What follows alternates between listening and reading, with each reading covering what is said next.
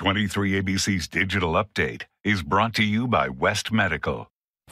Good evening. I'm Jessica Harrington. Here's what's making headlines around Kern County. New information tonight regarding the sexual misconduct allegations brought against Monsignor Craig Harrison. We've learned a person came forward in Firebaugh back in 1998 and reported sex abuse by Monsignor Harrison, making three total accusers.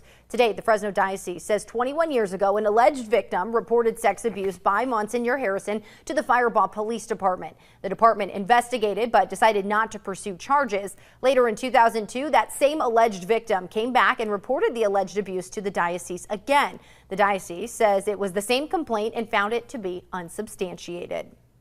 Officials at the Kern Valley State Prison in Delano are investigating a deadly use of force incident that left a use of deadly force incident that left an inmate injured today. According to officials, the incident occurred Monday morning where four inmates stabbed a fifth inmate. After repeated attempts to stop the attack, an officer fired a shot from a Mini 14 rifle and one of the assailants was hit. Three of the inmates were transported to nearby local hospitals. Their conditions are not known at this time and no staff injuries were reported.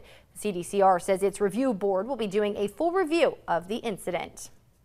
The Kern County Sheriff's Office reported tonight that a missing 24 year old man from East Palo Alto was found unharmed in a remote area of the Sand Canyon today. On Sunday, KCSO officials say they received a report of a missing person in the area of Chimney Peak Wilderness near Chimney Peak Campground. Search and rescue crews were called out to begin the search. At about 11 this morning, the man was found unharmed and was airlifted to safety.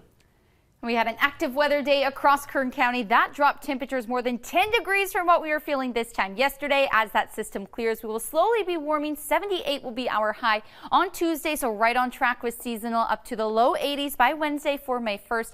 Then warming up to near 90 degrees on Friday and Saturday. And then a cool down is on the way this weekend as we are tracking yet another system moving toward the county. That's your latest news and weather update. For the latest news anytime, be sure to log on to our website, turn to23.com.